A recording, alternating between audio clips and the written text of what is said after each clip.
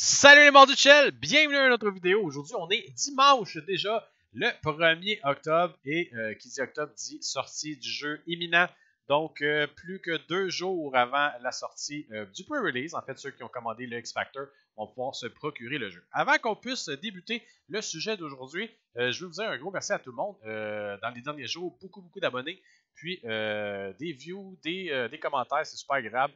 Alors, euh, je vous incite à mettre un petit j'aime et de vous abonner à la chaîne. Plus de le, deux tiers de nos euh, auditeurs ne sont pas abonnés, donc ça ne prend pas beaucoup de temps, ça ne coûte rien et ça fait vraiment plaisir. Sur ce, on commence avec notre sujet d'aujourd'hui. Ça va être comment faire de l'argent euh, à l'auction house ou plutôt à NHL 24. Donc, comment faire de l'argent, puis en partant le jeu qu'est-ce qu'il faut regarder. Donc, on a beaucoup euh, de sujets à parler aujourd'hui. On va commencer euh, par euh, quelque chose que le monde ne savent peut-être pas ou qui n'ont pas trop remarqué, mais quelles journées sont les meilleures pour acheter et pour vendre? Je vais te laisser aller là-dessus, Mathieu. Exact. Puis, peut-être juste faire une petite parenthèse avant de commencer. Le pre-download est commencé euh, sur, les, euh, sur les consoles pour le jeu, si vous voulez l'avoir déjà downloadé puis installé pour euh, mardi midi. C'est déjà commencé. N'oubliez pas d'avoir assez de place sur vos, vos, disques durs. Donc, portez une petite attention là, pour vous retrouver mardi pour vous rendre compte ah, il me manquait 20 gigs pour downloader. Là. Mm-hmm. Fait que commencer, c'est, ça se fait déjà en ce moment. Au niveau des journées, puis peut-être aussi une autre petite parenthèse, dans toute la vidéo qu'on va faire, là, on ne vous enseignera pas comment trouver une carte miracle, que vous allez faire 50 000 en la vendant, puis tout ça. Personnellement, vous devriez même vous éloigner de ça. Parce que ces cartes-là, que vous allez faire des gros profits, puis tout, ça se peut qu'ils vous gèlent une grosse partie de votre argent pendant 3, 4, 5 jours, une semaine, puis tout ça. Puis vous, allez, vous allez devoir faire beaucoup plus de profits pour couvrir la commission. Nous, c'est pas vers ça qu'on s'enligne. Gardez en tête, n'importe quel montant de profit, là, c'est non négligeable. Moi, je trouve 5 piastres à terre dans la rue, je me passe pour le ramasser. Même chose du côté de NHL 24. Et c'est pas sur une transaction, c'est sur le volume là, que vous allez faire de l'argent. Fait gardez ça en tête avec euh, tout ce dont, on va parler aujourd'hui. Donc, euh, pour en venir euh, au, premier sujet de Joe, les meilleurs moments pour acheter, ça va beaucoup avec quand est-ce que les cartes rentrent en jeu. Puis quand est-ce que ça rentre en jeu? Ben, les, récompenses, euh, les récompenses commencent le mardi soir à minuit. Mmh Toutes les récompenses de Hot Champion puis tout ça vont rentrer le mardi soir à minuit. Puis c'est là qu'on commence à avoir beaucoup de cartes, euh, beaucoup de cartes du côté de l'auction house. Fait qu'à partir de ce moment-là, ça ne sert à rien de vendre. Les prix euh, normalement sont à la baisse. Puis ça, c'est juste qu'à peu près au vendredi matin, parce que les dernières cartes qui rentrent, c'est ceux de Squad Battle qui rentrent le jeudi soir. Donc jusqu'au vendredi midi à peu près, toujours des bons temps pour acheter. Au contraire, toi, Joe, tu vendais quand d'habitude? Euh, ben, c'est ça. En fait, c'est l'offre et la demande, on l'a mentionné dans d'autres vidéos. Euh, à partir du mardi minuit, toutes les hot gems, puis on s'entend que les hot gems, c'est ceux d'habitude qui sont les plus talentueux.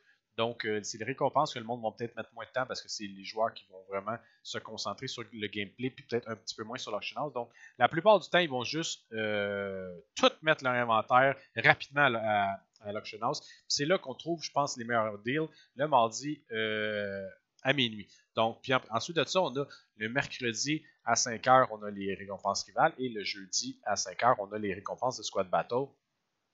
Euh, ouais, c'est ça. Donc, euh, c'est tout des bons temps pour acheter. L'offre est extrêmement élevée, puis il n'y a pas vraiment de demande. Donc, ça va être les meilleurs temps pour acheter. Pour vendre, ben, c'est facile. À partir du vendredi, on a les nouveaux événements qui drop. Puis souvent, euh, le monde euh, veut avoir la nouvelle carte en, primeur, donc la nouvelle carte, le nouveau joujou du mois. Donc, ben, c'est là que le monde va acheter. Puis le monde, ils sont pas patients hein, pour la majorité du temps. Donc, ils veulent avoir la carte maintenant. Et qu'est-ce qu'ils vont faire? Ils vont acheter le plus de cartes à l'auction Donc, le vendredi, c'est facilement euh, une, bonne, bonne façon de unloader son inventaire. Là. On peut facilement vendre des 100, 200, 300 cartes en quelques minutes.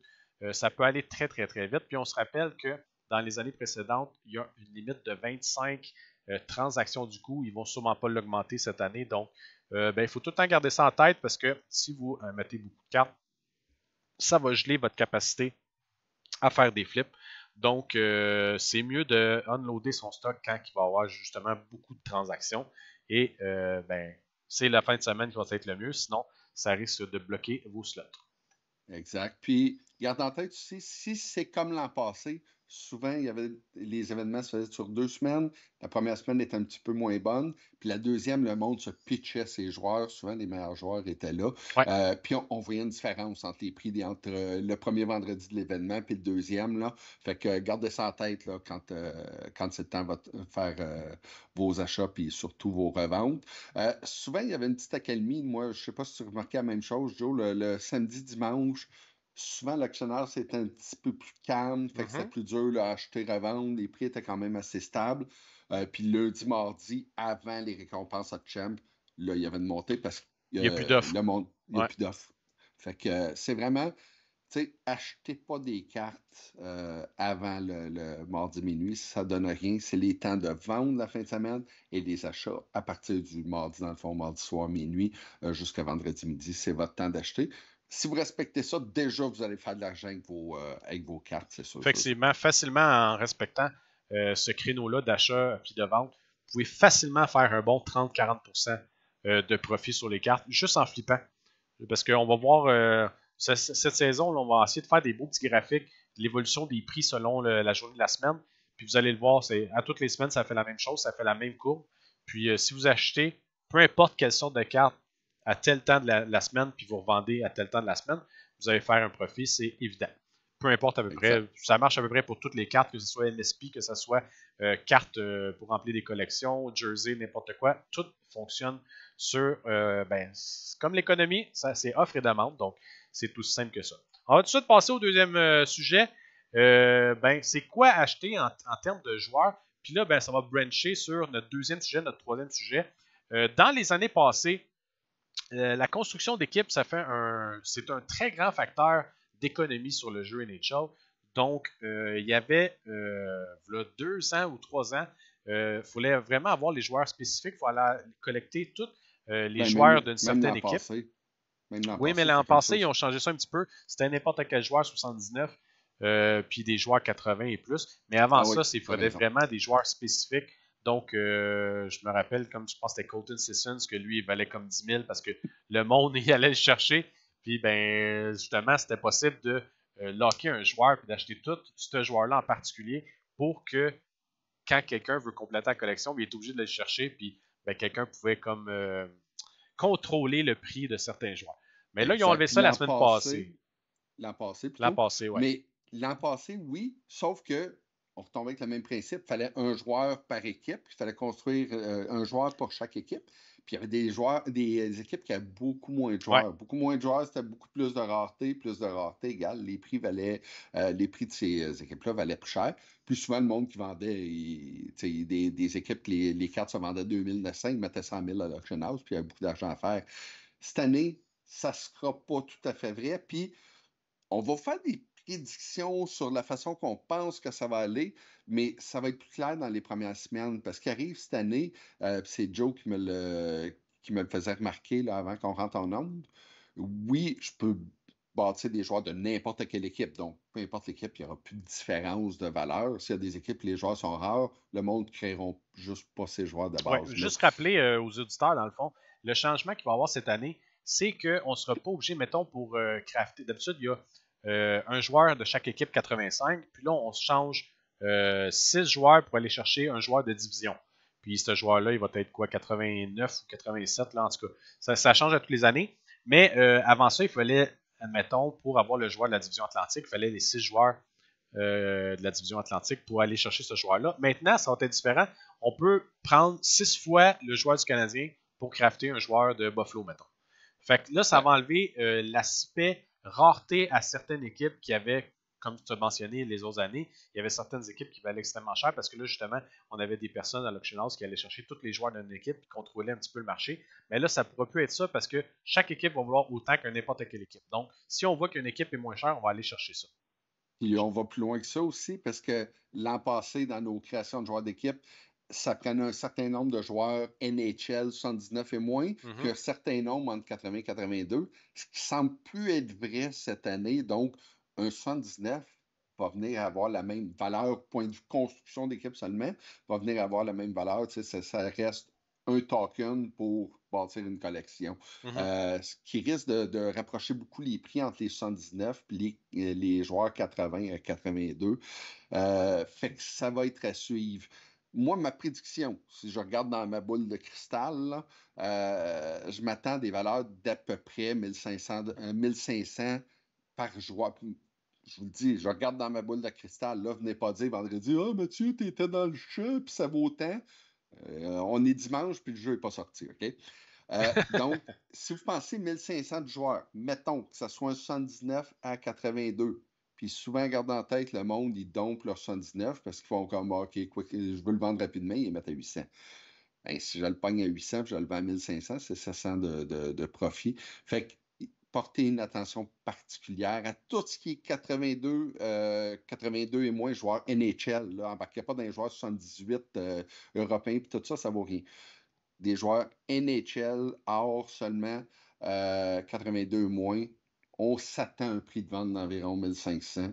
Donc, euh, essayez d'aller chercher là, en bas de ça là, pour faire euh, du profit. Puis, je vous disais, vous allez en prendre à 800. Essayez pas les gros, euh, les gros, les gros hits comme ça. Là. 1500, si je l'achète même 1100, je paye ma commission, il me reste, il me reste pas mal un 300 pièces de profit. Là.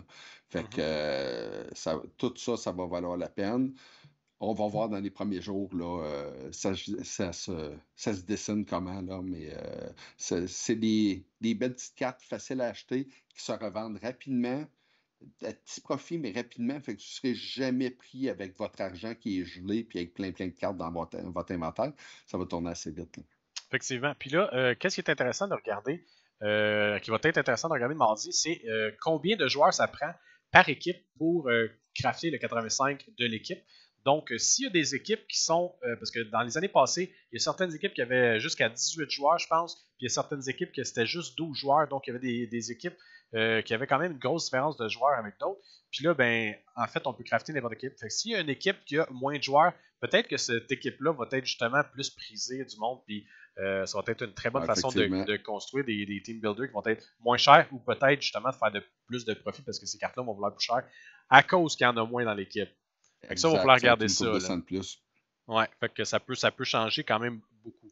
Euh, Puis ça, justement, ça, on va brancher un petit peu, là, euh, on va arrêter de parler des team builders dans pas long, mais ça, ça va peut-être être une très bonne opportunité justement pour crafter des team builders qui vont changer votre équipe dès le départ parce que justement, si euh, les 79 ou plutôt les joueurs NHL Gold se vendent euh, pas cher, puis une équipe à, mettons, 12 joueurs ou 11 joueurs, à 1500, comme Mathieu a dit, ça, ça revient à à peut-être 14-15 euh, 000 pour faire un 85, euh, ça peut commencer à être intéressant pour les team builders sans, sans savoir euh, sans avoir cassé la banque, parce qu'on sait qu'il y a certaines équipes l'année passée qu'on savait qu'il fallait crafter pour aller chercher nos plus hauts team builders que les équipes étaient justement trop chères, puis ça, ça, venait compliquer la donne au côté budget, là, mais j'ai tellement fait de l'argent avec Winnipeg et puis la Caroline l'an passé, là, c'était assez incroyable. Ben ça, il va falloir regarder ça en début de saison. J'ai très hâte de voir l'évolution des prix là-dessus, puis de voir justement s'il y a des équipes qui sont euh, meilleures que d'autres.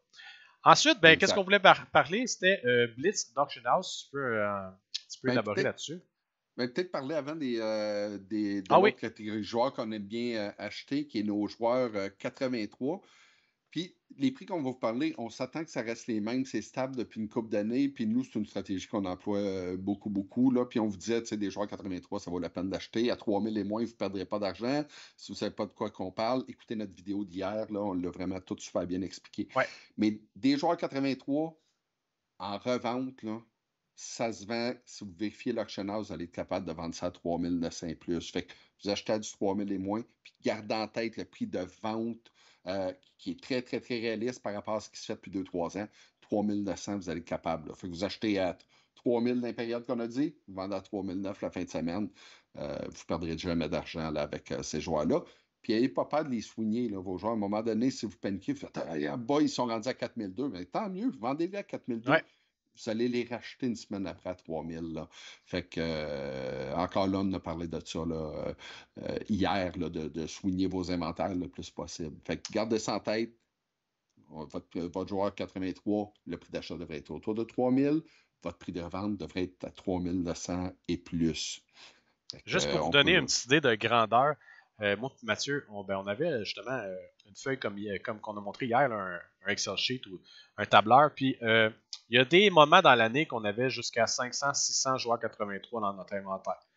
Puis, ben, ce 500, 600 joueurs-là, tant qu'on voyait ça à 3000 et moins, on achetait, on achetait, on achetait. Puis, il y avait un bon événement. Puis là, ça pouvait monter jusqu'à 5000. À Team of the Year, je pense que c'est monté comme à 5000 ou 5500 chaque joueur. Ah, plus que ça. Et peut-être plus, les 83. Fait, ça, dans ce temps-là, c'est au-dessus de 2000 cucs de profit sur chaque joueur que vous avez acheté en bas de 3000. Puis tu sais, je dis 3000, mais il y en a que vous allez acheter à 1000. Puis il y en a que vous allez acheter à 1002. Parce que des fois, ils vont domper leur inventaire, puis il va en avoir un plein, plein, plein. Vous n'allez pas acheter ça assez vite parce que justement, il y en a trop. Fait que toutes ces affaires-là, c'est 4, 3, 4, 5 000 de profit sur chaque carte, fois 600. C'est un montant euh, incroyable. Puis ben, cet argent-là, vous allez faire quand vous vendez votre carte. Donc, si à un moment donné, vous voyez que le prix est très élevé à 4500, on commence à, vendre tout notre stock.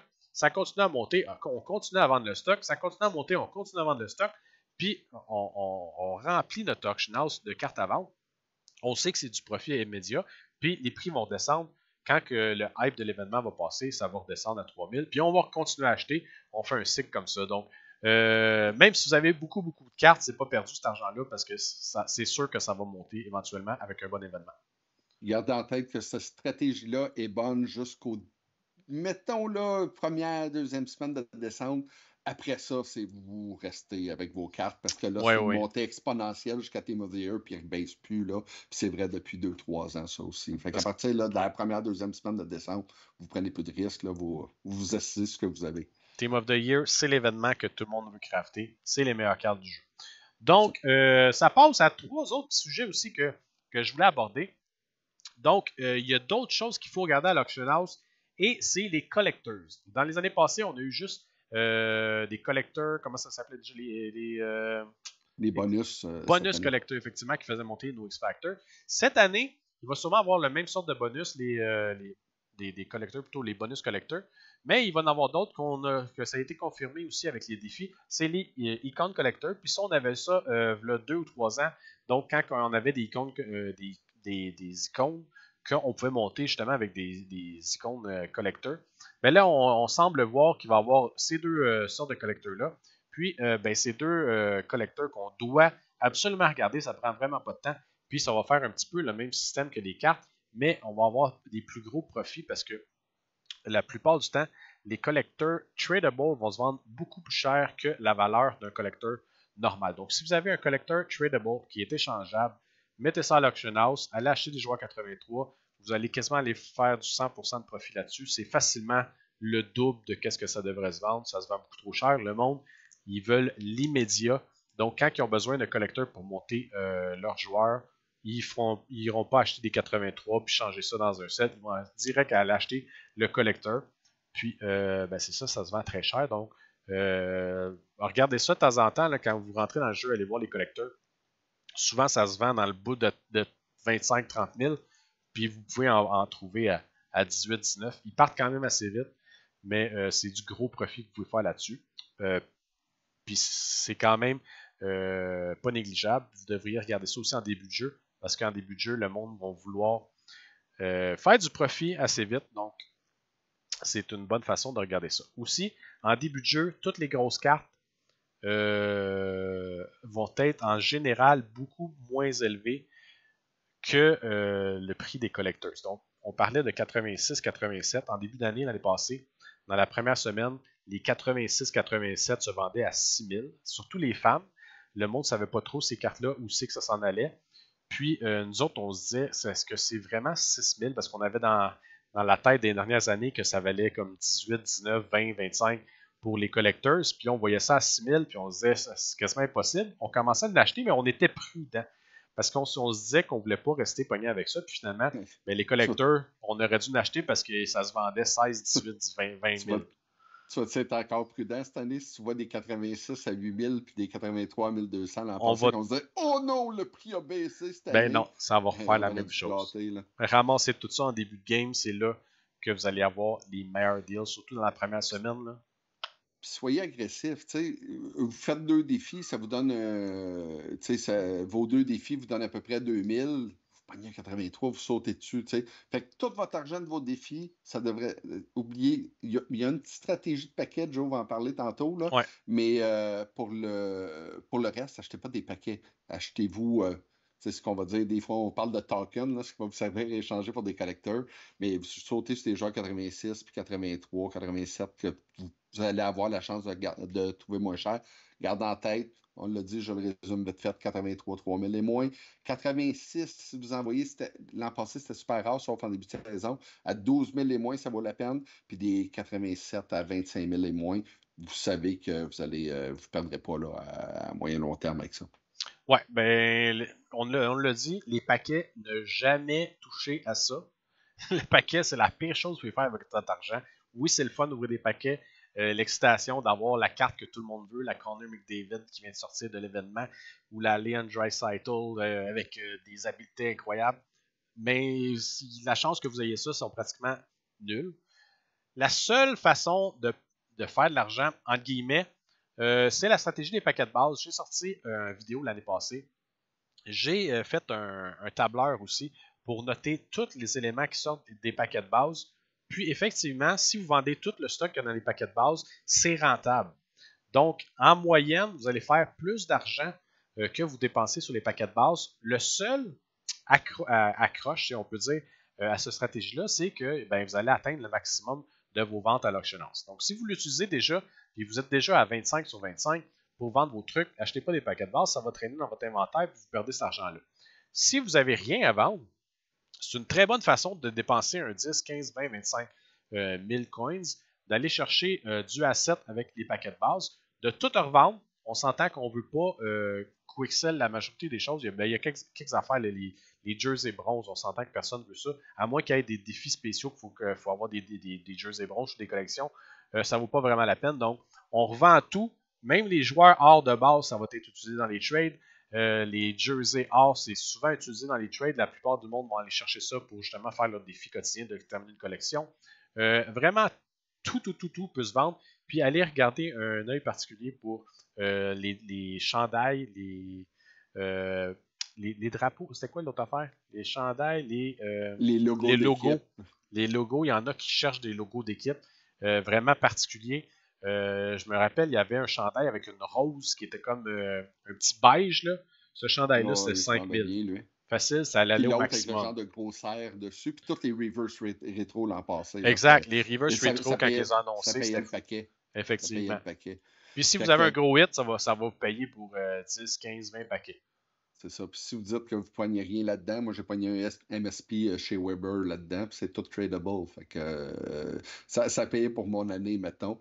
Euh, puis c'est une stratégie des paquets qui est particulièrement bonne. Tu sais, on, on, a radoté beaucoup sur la construction d'équipe, mais ça influence beaucoup les plans début d'année. Mm-hmm. Puis cette stratégie-là des paquets est encore meilleure là. Puis à chaque fois qu'il y a des upgrades au niveau des constructions d'équipe, les prix d'auction house des joueurs 82 moins montent drastiquement. Donc, automatiquement, ces paquets-là valent plus la peine. Puis là, je vais remettre une petite bémol là-dessus parce que là, vous allez dire Ah, hey, ça, si ça marche, ces packs de base, imagine ce que je peux faire avec des packs premium. Non, c'est bon, rien. Ces packs de base, touchez pas au premium. Cette stratégie-là ne fonctionne pas avec les premiums. Non, premium, euh, on perd en général 10, 15, 20% sur chaque paquet.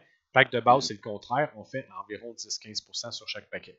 Euh, ça, c'est en n'ayant aucun gros hit. Si on a un gros hit, ça monte considérablement le profit. Mais euh, de base, vous allez faire peut-être 500 coins, 5, entre 500 et 1000 coins sur le 5000. Euh, Donc, en général, on va vendre tout le contenu entre 5005 et 6000, puis ça vous coûte 5000. Les premiums, ça coûte 7005 et en général, vous allez avoir 6000 de retour. C'est quasiment le même retour, mais le prix c'est 5000 puis l'autre c'est 7005.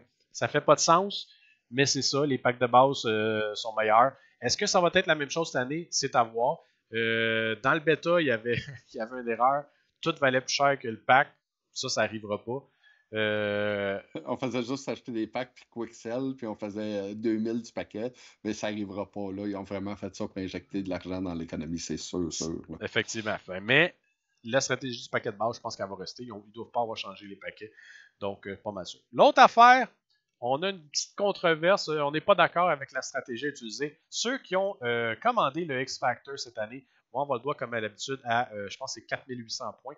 Donc, les, petits points verts qu'on peut acheter avec l'argent. On recommande à personne d'acheter des paquets avec l'argent. Moi et Mathieu, on est free to play. On ne dépense aucunement, sauf qu'on achète le X Factor Edition parce qu'on va avoir notre trois jours d'avance. S'il n'y avait pas euh, les autres choses, ça ne nous rangerait pas. On veut jouer les premiers, mais on va profiter quand même du fait qu'il nous donne 4800 points. Donc, on a deux stratégies qui peuvent être euh, à peu près égales, mais euh, ça dépend en fait des hits que vous allez avoir. Donc, moi, euh, aux années passées, j'ai gardé mes packs pour les gros événements, donc les événements Evo ou Team of the Year avec les points que j'avais. Je n'ai pas eu de hit et on sait que les cartes vont perdre beaucoup de valeur avec le temps, plus qu'on avance vers Team of the Year. Je parle les gros hits. Là. Si on a des Connor McDavid ou des, des, Nathan McKinnon, on parle de cartes de base quand même. Le Connor McDavid, il est resté à 100 000 quand même un bon bout de temps. Puis, euh, ben, on se rend compte que rendu à Team of the Year, ça vaut comme une 87 normale. Ou plutôt, il était 87 l'année passée. Je sais pas que, je pense qu'il a baissé cette année, il 86. en tout cas, ça, ça va être une des meilleures cartes. Là. Euh, on ne sait pas encore parce que ce qui était dans le, dans le test, c'était pas les vraies cartes. Ouais, c'est ça. C'était clairement pas les vraies cartes. Mais en tout cas, la stratégie que moi je veux utiliser cette année, c'est d'ouvrir, euh, ben, prendre tous mes points puis les dépenser le plus tôt possible parce que ben, je crois que euh, les cartes ont la plus grande valeur en début de partie, donc dans la première semaine. Si euh, je hit un Connor McDavid, euh, je vais pouvoir avoir un gros bankroll en commençant, puis ça va m'aider justement à me builder un plus gros inventaire puis flipper des cartes plus vite. On s'entend que si vous commencez ce tôt, vous ne devriez pas avoir de problème à builder un gros bankroll. Si vous êtes un petit peu plus lent, vous avez moins de temps à jouer, peut-être ça va être plus compliqué, puis cette stratégie-là va être un petit peu meilleure pour vous. Mais moi, je pense que ça va plus m'aider à booster mon équipe. De toute façon, la chance d'avoir un Evo, un Team of the Year euh, dans ce paquet est très très faible. Puis 48, euh, 4800 euh, ben, points, c'est pas tant de points ça. Vous avez une coupe de bons paquets, mais c'est pas, c'est, pas, pas la, la, mer à boire. Moi, j'aime ce que j'aime de ta stratégie, c'est que tu as raison. Si tu as des hits, les cartes valent plus cher. Puis tes moins bons hits, des 83-84 que tu vas avoir, vont faire ton équipe, ce qui fait que mhm. tu vas avoir une équipe plus forte rapidement. Ça, j'aime ça de, ta stratégie. Moi, la partie que j'aime moins, c'est que dans la première semaine, des bonnes cartes d'un paquet, il n'y en a pas tant que ça. C'est pour ça aussi qu'ils valent, euh, valent plus cher. Mhm. Fait que moi, j'aurais trop peur, euh, j'aurais trop peur de tout passer mon argent sur les paquets, puis euh, me ramasser peut-être avec un 86, peut-être pas plus, puis tout ça, parce qu'il n'y a pas tant de grosses cartes dans l'équipe. Moi, personnellement, je vais, euh, je vais attendre, mais j'ai pas ta stratégie. Là. J'ai, hâte de voir ce que ça va donner. Au pire, je vais te suivre. Là. dans le meilleur des mondes, dans le fond, on, regarde ça pour Team of the Year, puis on hit un Team of the Year trade-up. Mais la chance que ça arrive, if. on s'entend que c'est juste 50$. Là. Puis si vous faites euh, bien de, de l'auction house, un peu comme on, vous parle, puis tout ça, euh, moi j'ai attendu jusqu'à Team of the Year, puis honnêtement, j'en avais plus de besoin des paquets, là. Fait que ça a été trop loin. Euh, fait que je dépasserai pas Evo cette année, c'est sûr, sûr, sûr. Peut-être attendre quand il va avoir les premiers, les premiers paquets, là, choix ultime là, sur 5 rondes, 4 cartes par ronde là, sur 5 rondes. je vais peut-être attendre plus ça, là, moi, pour pour dépenser mon argent. D'habitude, il arrive à l'action à, oui, à l'action de grâce, d'habitude. C'est euh, pas qu'elle a l'action de grâce aux, États-Unis. Fait que ça fait pas mal le tour de conseils pour le on, ah, on a ah, oublié un... ouais, parce qu'on a, on a, sauté un qui est bien important, les blitz d'Auction House. Je t'ai ramené sur un autre sujet quand tu as voulu, euh, voulu l'amener. Les blitz d'Auction House. Fait moi, je m'installe un soir, pas grand-chose à faire met des séries sur notre tablette. C'est pas vrai, c'est pas moi qui fais ça, c'est Joe. Euh, et dans le background, je vais vérifier l'auction house un petit peu. Et mon but, c'est de faire, d'acheter puis de revendre tout de suite, tout de suite, tout de suite. Fait on va se concentrer sur un type de joueur, que ce soit des 83. Puis je pense que tu as fait des vidéos là-dessus euh, d'ailleurs. Mm-hmm. Fait que soit que j'aille vers des 83, soit que j'aille vers des 82 et moins. Je regarde une chose, combien ça se vend au minimum? On parlait des fois des 83 qui se vendent euh, une journée à 3009. Parfait. Je garde ça en tête 3009. Ou je à mes joueurs 82 et moins 1005. La stratégie, j'enlève 400 à ça. et je vérifie sur une base constante l'auction house, puis je ramasse tout, tout, tout, et je les revends au prix minimum de l'auction house. Fait que si mon prix minimum, comme je dis, j'ai décidé ce soir-là que j'achète des 83, ils se vendent 3009, mettons. J'achète à 3005 et 100% de ce que j'achète, je le vends tout à 3009. Puis les joueurs se cassent pas la tête, ils regardent c'est quoi la carte la moins chère, ils l'achètent quand ils ont besoin d'un joueur.